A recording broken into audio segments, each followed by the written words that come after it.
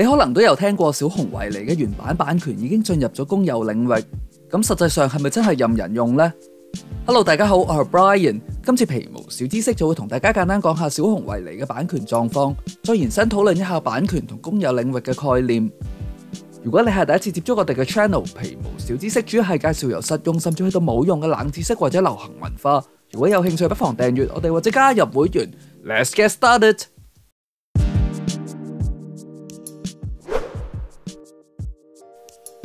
喺过去嘅一段时间，你可能有喺网上见过呢啲相，甚至有睇过佢嘅电影预告。但点解一九六一年购入咗小熊维尼版权嘅迪士尼内佢唔何，只能够就手旁观呢？喺二零二二年啱啱开始嘅时候，小熊维尼版权失效正式进入公有领域，可以话系一摊大新闻。咁呢个实际上又系代表啲咩呢？系咪真系任何人都可以随意拎嚟用呢？首先，全球各国嘅版权法例以至执行都并唔统一。而且更系有相当大嘅出入，但小熊维尼嘅版权持有人系美国和路迪斯尼，而美国亦都系少数拥有最长嘅九十五年版权保护期嘅国家之一。咁我哋就由美国嘅版权法为基础讲起。如果最简化最笼统以一句说话嚟解释，美国嘅作品独家版权保护期一般都系作者去世后嘅七十年或者出版后嘅九十五年之后，作品就会进入公有领域。任何人都可以使用而唔需要得到作品持有人嘅同意。换言之，喺美国九十五年或以前出版嘅作品都已经进入咗公有領域。以而家二零二三年嚟计，就即系一切一九二七年十二月三十一号或以前出版嘅作品。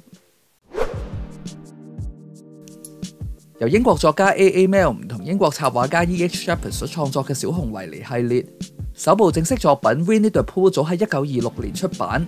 所以作品就已经喺二零二二年进入公有领域，不过呢个就仅仅限于一九二六年出版嘅呢一部作品嘅内容。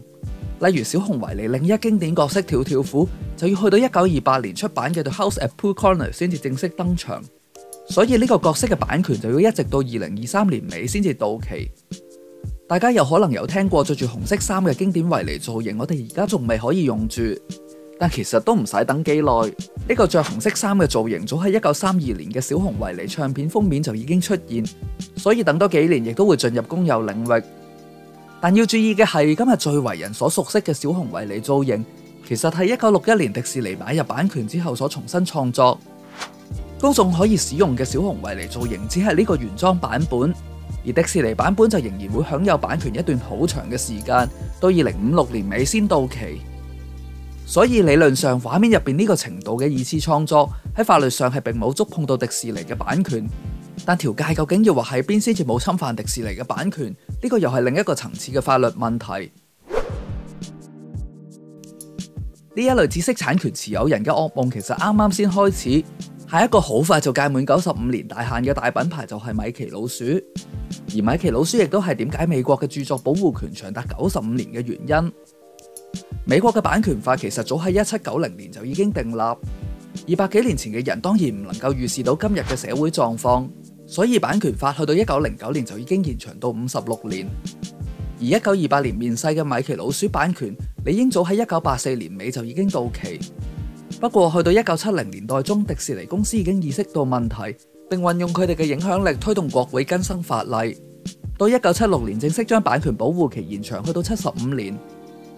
到九十年代，佢哋又重施故技，促成咗喺一九九八年再延长去到九十五年。呢一次嘅著作权年限延长法案，就被大众讽刺为《米奇老鼠保护法案》。所以美国嘅九十五年超长版权保护期就系直接由米奇老鼠而嚟。但版权最大嘅敌人就系时间。理论上，去到二零二四年，米奇老鼠嘅版权就会进入公有领域。对于以米奇老鼠作为重要商标嘅迪士尼。我谂佢哋应该唔会坐以待毙啩。其实对于人类社会现代化以嚟所出现嘅呢啲似文化标志，尤其系当时嘅美国本土创作，例如 DC 一九三八年嘅超人、一九三九年嘅蝙蝠侠同 Marvel 一九四一年嘅美国队长等，同样亦都系未来一段时间需要陆续面对呢个问题。另外，虽然大部分国家嘅版权保护期都比美国短，例如喺加拿大，占士邦早已经进入咗公有领域。